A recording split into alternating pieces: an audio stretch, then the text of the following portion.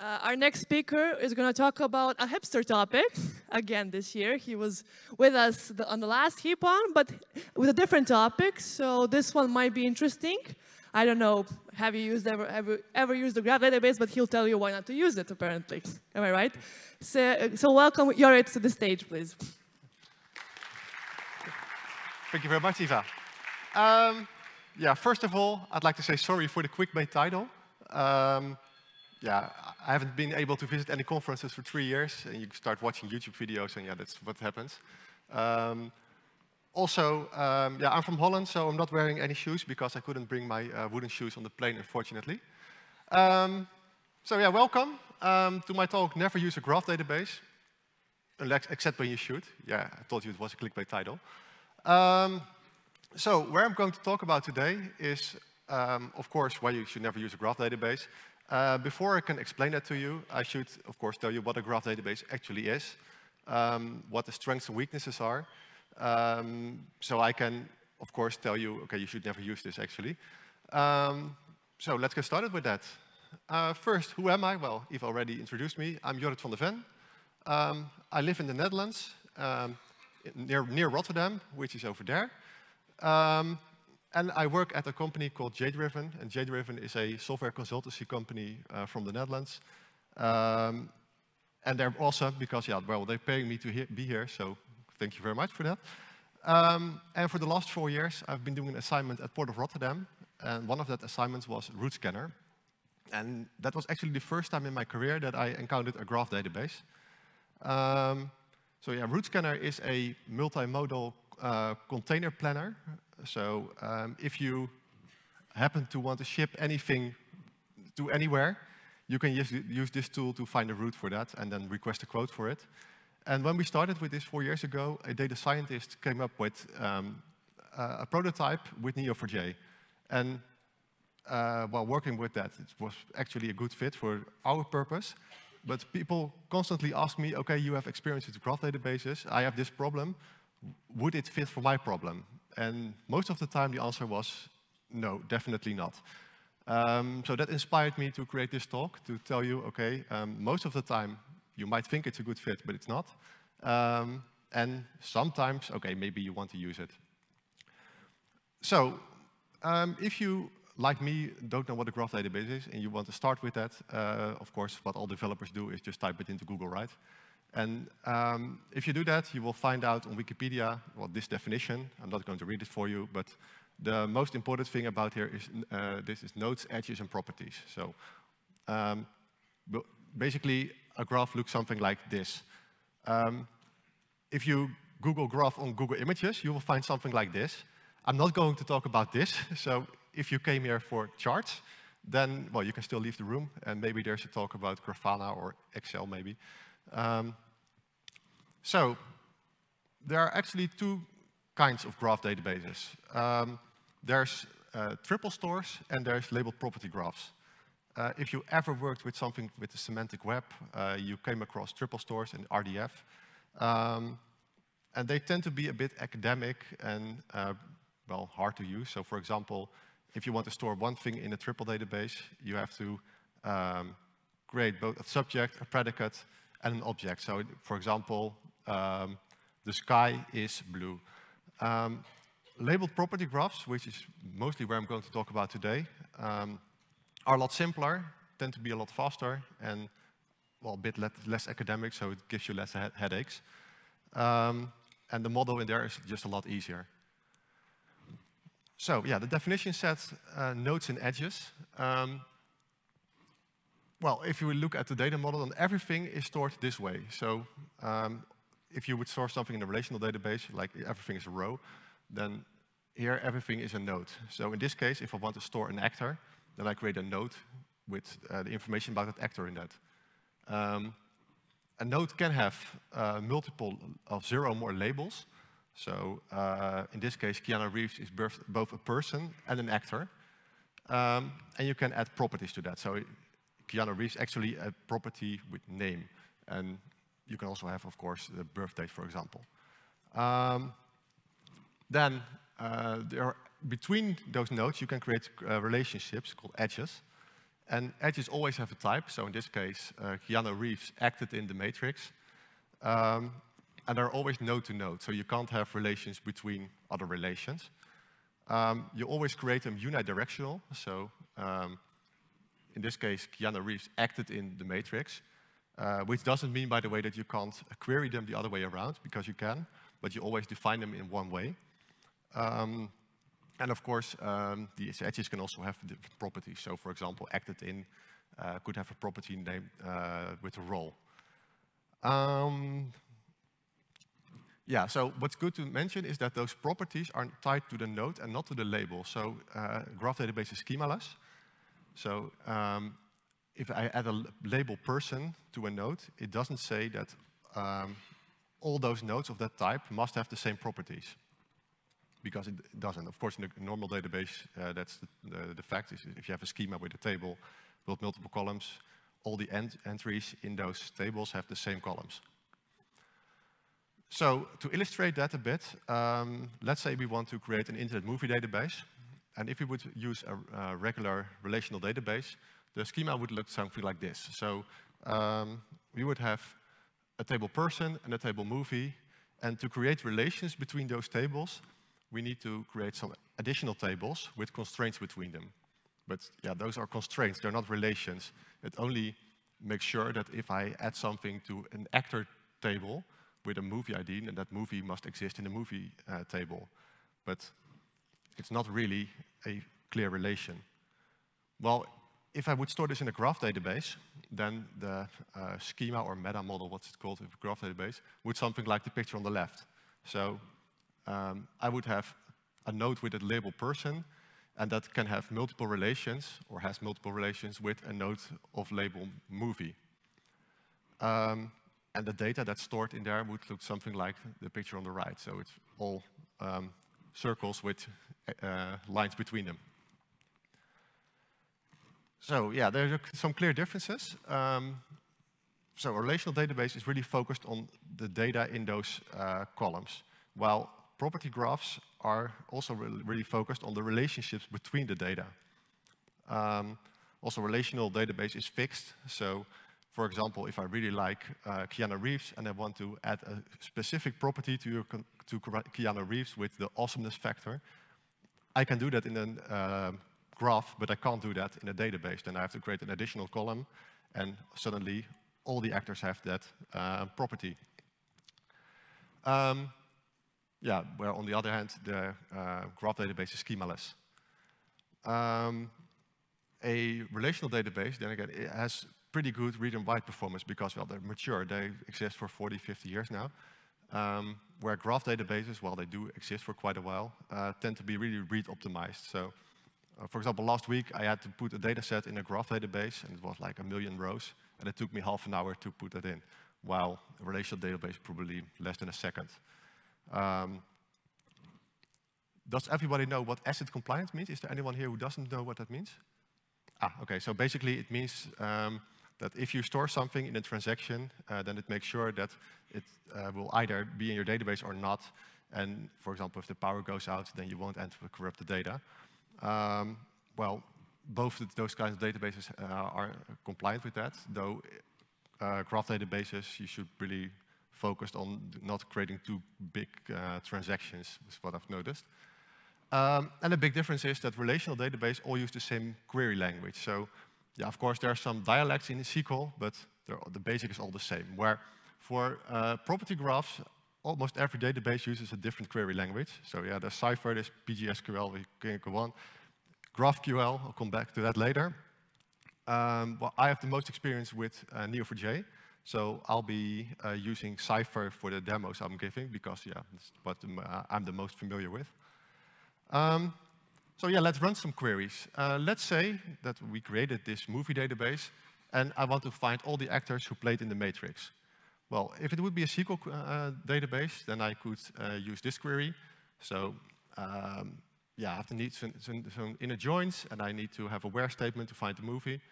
Well, in Cypher, um, it looks a bit like ASCII art, basically. So I have a match statement where I say, OK, I want to find a node with a label person, that has acted in a node with a move, uh, movie label with a property, the, the, matrix.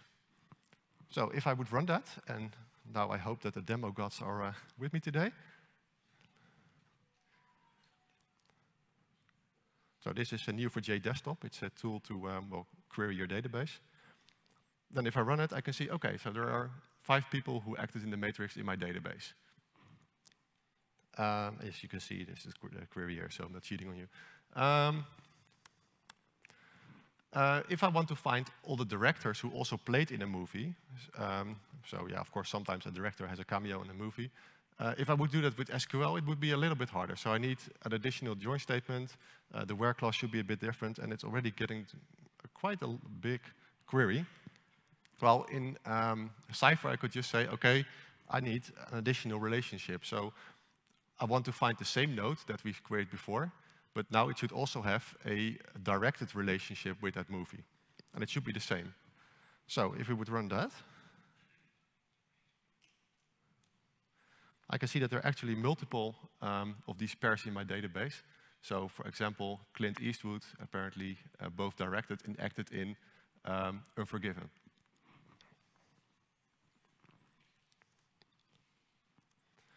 Okay, and uh, what if I find, want to find all the actors that played in uh, two or more movies together? Well, I am not a database expert, I'm not a SQL expert, but if I would want to write this kind of query, it would probably take me a day and a headache after that.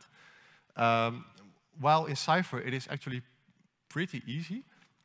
So if we just look at the, the first statement, uh, we say, okay, we want to have the person who acted in the movie.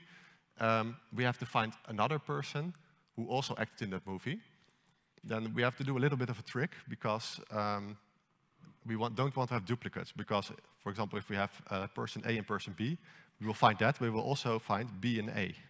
So to make sure we don't have any duplicate results, we can uh, use the internal identifier of a node in Neo4j and basically say we only want, um, yeah, so ID that's uh, bigger than the other one. So in that case, you will always get only one pair of the results. Then, with all the results that we get, we collect all the common movies in a list, and then we filter those results with uh, lists that only have two or more results in them, and then we return that. So if we run that,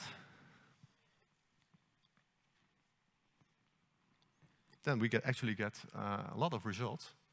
And well, for example, we can see here that um, we have some Ben Miles and Rain both playing in Ninja Assassin and uh, Speed Racer. Well, I'm not sure if they're good movies, but at least we know that they play together in them.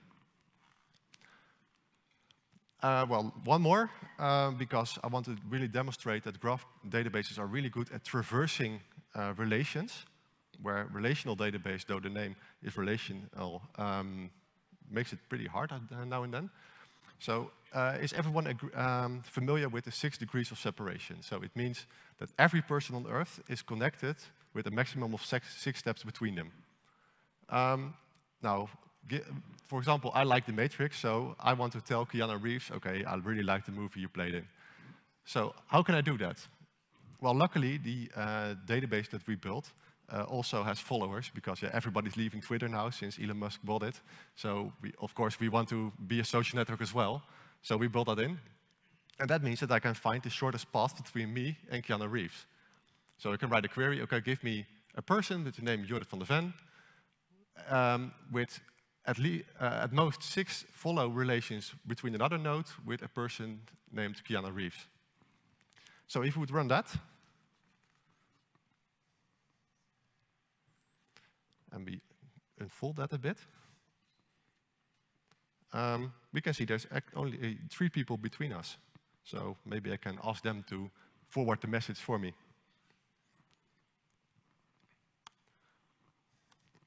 Okay, so if you think, okay, this is really cool, I want to use it in my application, which of course you won't because that's the name of my talk, um, then it's good to know that there are official drivers for uh, basically all the JVM languages, all the .NET languages, um, for Node.js, Go, and Python, and basically all the other languages in the world, there's um, yeah, a community driver available. So even Erlang has one, so then your favorite language must have one as well.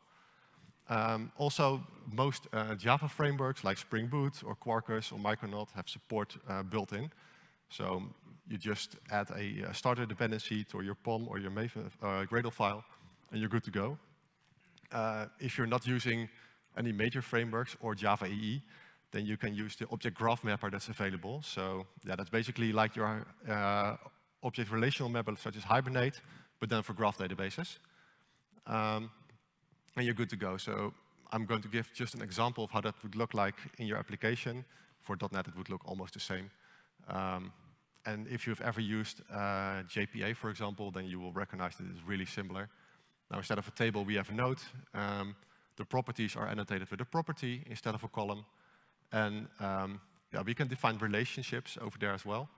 Um, yeah, but as I said, um, direct, uh, the, the, relations are unidirectional, so you have to define which direction the relation is going. So in this case, I want to query the movies, and I want to know that all the relationships that acted in are coming into basically this type of node. Um, so if you want to run queries, then um, yeah, uh, Spring uh, Data Neo4j has repositories like Spring Data uh, JPA. So you can just create a repository, you get the default um, find by ID, find all uh, methods, and you can define queries. So if I put a shortest path algorithm in here, um, I can just run that. Um, if you're wondering what this strange uh, construction looks like, that's because uh, multi-string um, statements in Kotlin or multi-row uh, strings uh, use dollar signs for string templating.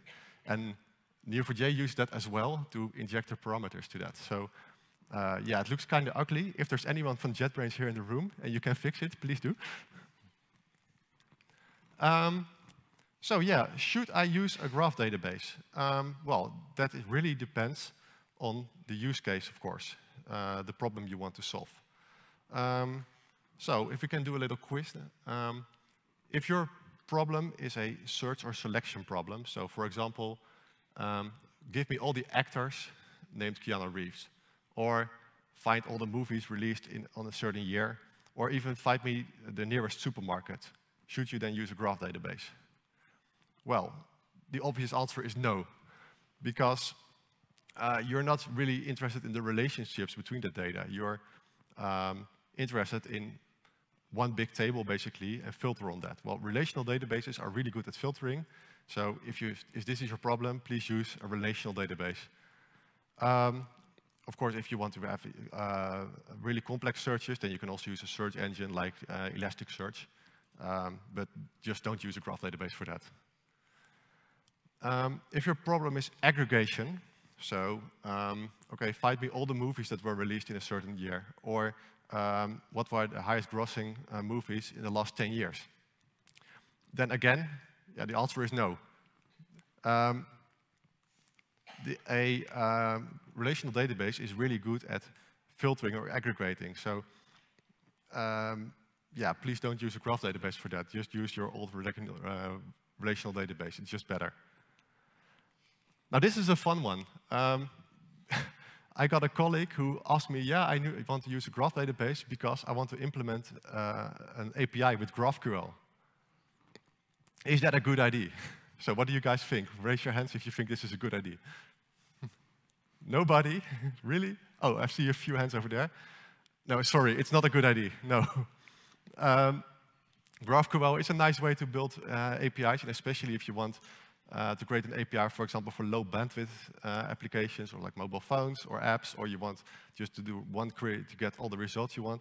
But of course, all developers know you should never basically send a query from your client or from your API directly to your database.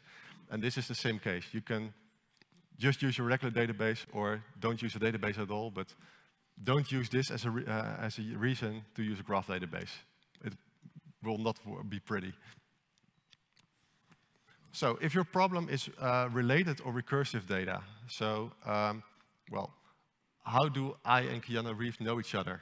Or, um, okay, I found this cool company here at HeapCon, and I want to get in contact with an executive to get me hired. Um, how can I contact that of a person?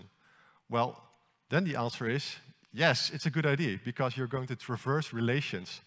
Um, so that's probably a good fit. Um, let's click this guy away.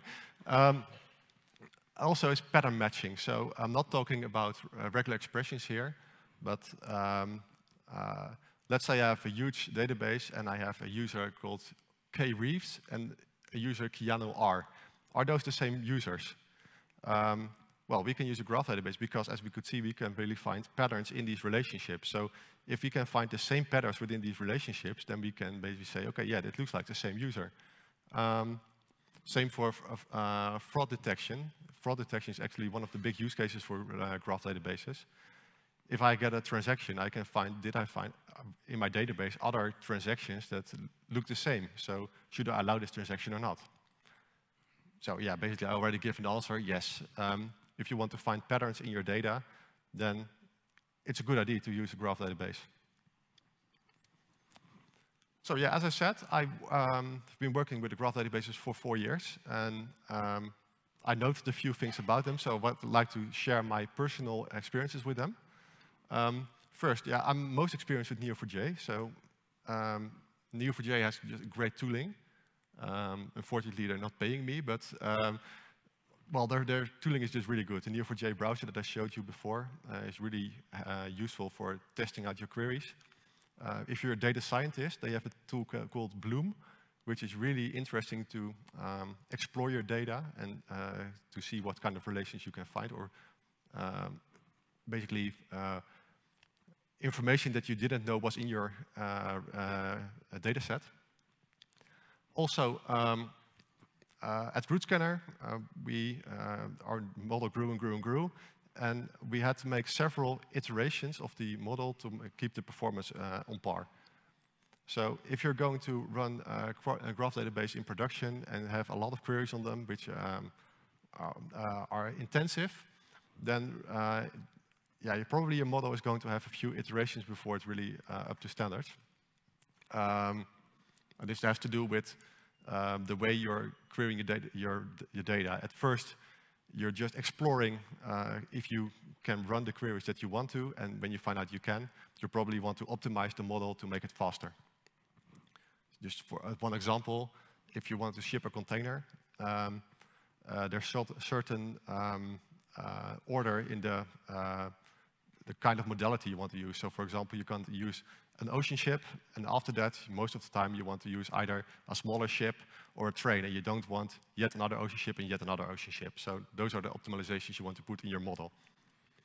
Um, yeah, because you, um, you really want to uh, be able to evolve your model, I don't recommend using a graph database as your main data source. You can use it as a read model, um, but make, always make sure that you have the data available somewhere else. So if you want to rebuild that model, you can, uh, you, you, can do that because you still have the original data set. Um, if you're going to traverse the graph, uh, and you want to be, to be performant, make sure that you uh, reduce the number of starting points. So um, in the example that I given before, from, um, with uh, find me the shortest path to Keanu Reeves, I really had to specify, okay, I want to find a node with the type person, with the name Jorrit. Um, if I would just say, just give me any node with uh, maximum six steps, then that would mean that it would start traversing all the relations of every node at first. So yeah, you can imagine if you're doing a depth-first search, it's going to be really intensive. So if you can reduce the number of starting points, it will really increase the performance of your queries. Also, keep transactions small. Um, we noticed that if we wanted to update the database, and we thought, well, we can do that in a transaction because uh, then if the update is succeeded, then we have a new data set, and otherwise we just have the old one. And we tried to update like a million nodes. Uh, we just got out-of-memory errors on the, both the server and client side, and everything would crash. Um, so yeah, if you're going to use transactions on the graph database, and especially in Neo4j, try to keep those transactions small to uh, prevent any uh, yeah, strange errors. Also, um, yeah, I told you there's an uh, object graph mapper. Well, if, um, if you've used an object relational mapper, you probably noticed the infamous n plus one problem, which means that uh, you get a lot more data from your database than you intended to. Well, if you have data that's highly connected, you can imagine this is going to be an even worse problem sometimes. So uh, if you have highly connected data, which you have in a graph database, then I can really recommend um, um, only querying what you really, really need. And um, with the object graph mapper, you can specify the query depth. So you can say, okay, I want to have this type plus uh, one relation deep. Um, or you can, of course, write a query that really says, okay, I only want this type of node. So in our uh, Internet Movie Database example, if I would run a query uh, to get all the actors and I would query one level deep, then of course I would get all the movies as well. So I'll probably fetch my entire database in one call. Not something you want. Um, so to summarize, never use a graph database when your data is disconnected. So if you just want to store uh, application logs, for example, um, then don't use a graph database. Um, however, I'll come back to this example later because there's actually some use case that you can use this. Um, if you just want to store data, data in tables, so for example, if you're writing a blog and you have blog posts and authors, yeah, then don't use a graph database, just use a regular database. Um, also, when you only look up data with known keys, so find user by ID, flow, find blog post by name, something like that. Just use a regular database. Um, if storing data is way more important than retrieving it, also don't use a graph database. I told you uh, writing is pretty slow most of the time, so yeah, you can find an alternative that's probably better suited. Um, the, uh, if you want to store large chunks of data, that's something we found out to the hard way. Um, graph databases aren't that good at it. So if you want to store like blobs or big chunks of text, they actually recommend you to put uh, the data in a graph and then extract those ch chunks of, uh, or blobs, put them in a relational database or a key value store, and first retrieve um, the identifiers and then get the, data, the, the chunks from another database using those identifiers. Um, yeah, and I've already said if your queries don't have a clear starting point, then also don't use a graph database because it will just be really slow.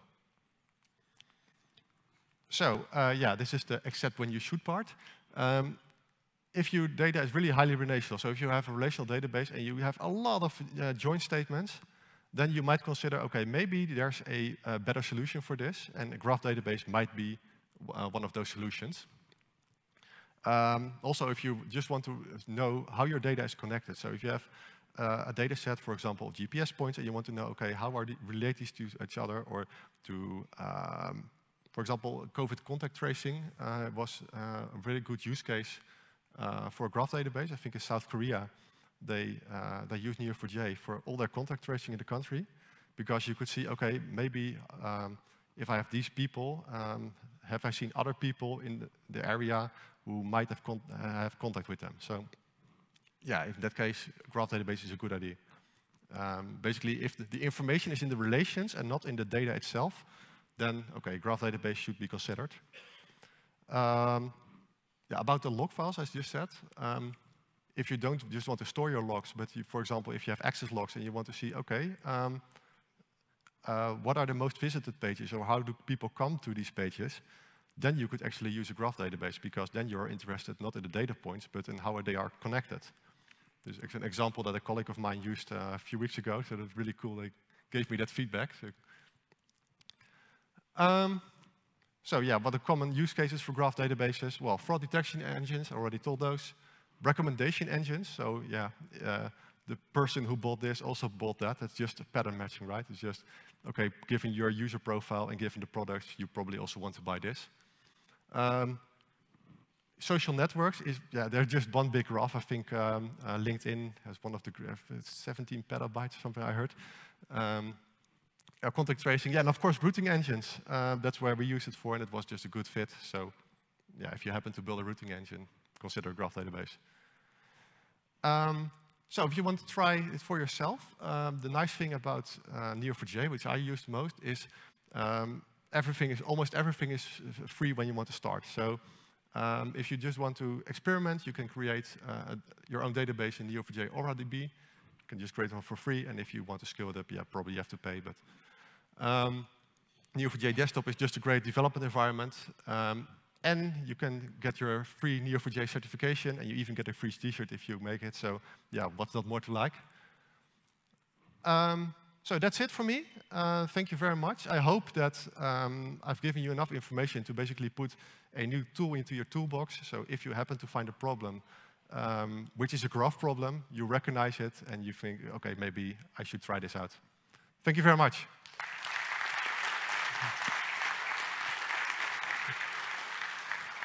Thank you.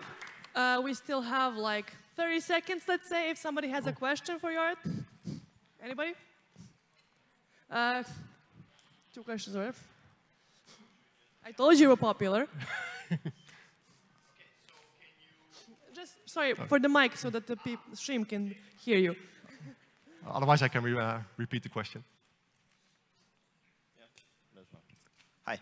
Uh, could you uh, somehow move relational to graph? In some point you see, okay, yeah, this looks good, but I do have a model and a product, etc. So what do I do? Should I move or start over? Or? Um, yeah, my advice would be to, to basically create a new model in, for your graph database and not just copy the data because they're just completely different kinds of databases. So they probably uh, need a different approach to store that data. Um, at least Neo4j comes with an ETL tool, so it's easy to load data into there. And yeah, as, uh, as we did at our project, um, we just started with a model, tried it out, and figured out it wasn't a good fit. So we- changed the model until it was a good fit. So it's probably not a first time right, but yeah, I guess that's okay. If you start with a new technology, that's not a problem. Is that a good good enough answer for you? Okay, thank you very much. Any other questions? We have one more if somebody wants to ask. No? Uh, Okay. If you still happen to have any questions, you can just uh, drop by or, yeah, I don't have any Twitter, so uh, you can send me uh, maybe a GitHub message or something like that. Yeah. Thank you. Thank you. We'll take a short break, then return with the next track. Thank you.